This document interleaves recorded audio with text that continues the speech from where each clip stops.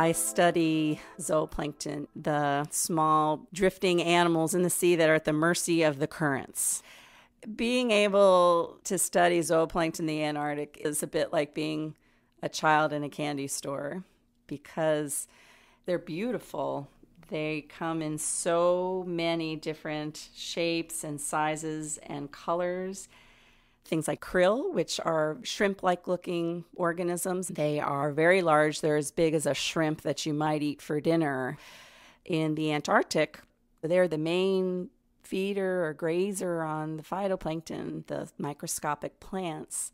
But they're also the main food source for all these penguins and the baleen whales and the albatross and, and many of the seals. So they are a crucial link in the food web.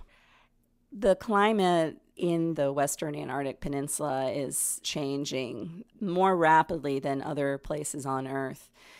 And there's been um, a warming of the waters there. And because the ice cover has been decreasing, we're finding that there have been changes in the zooplankton community. One of the changes is there's been a decrease in the amount of krill. The juvenile or larval krill feed on ice algae that actually live on the underside of the ice. And so in the wintertime, there is no sun, it's dark all the time. When there are no other food sources, these larvae actually come up to the underside of the ice and scrape the ice algae, then feed on it. This is what gets them through the long Antarctic winter. So, as the ice goes away, then there's less food for these larvae, and so fewer of the larvae actually end up growing into adult krill. But what has also seemed to be happening is an increase in salps, these gelatinous zooplankton. They look like little clear barrels.